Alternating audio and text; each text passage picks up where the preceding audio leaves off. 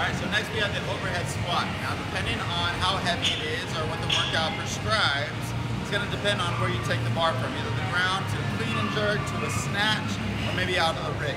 I'm going to demonstrate with the PVC pipe first. So, snatch grip, nice and wide, enough so that if you extend your arms, be right in your hip crease. From there, you can bring the barbell to that overhead position. My feet are in a squat stance, obviously because we go into a squat. Now my hip angle is going to be adjusted Now typically in back squat, I'm going to come back a little bit more. Now the barbell is already pretty much over my midfoot, so I don't have to push my hips back very far. But I do need to watch my knees go. They don't want to go too far forward. Always initiate with the hips, go back just a little bit. I'm going to keep that barbell right over my midfoot, right in line with my center mass. Now notice I didn't break at the rib cage.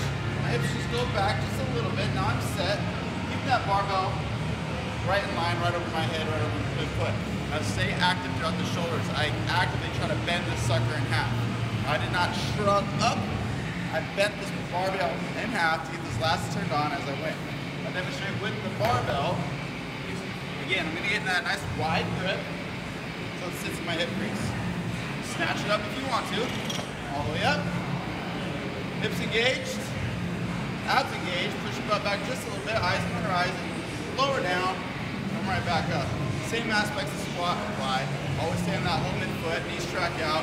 Let that barbell rest on your mid-trap and your lats and not push up on it.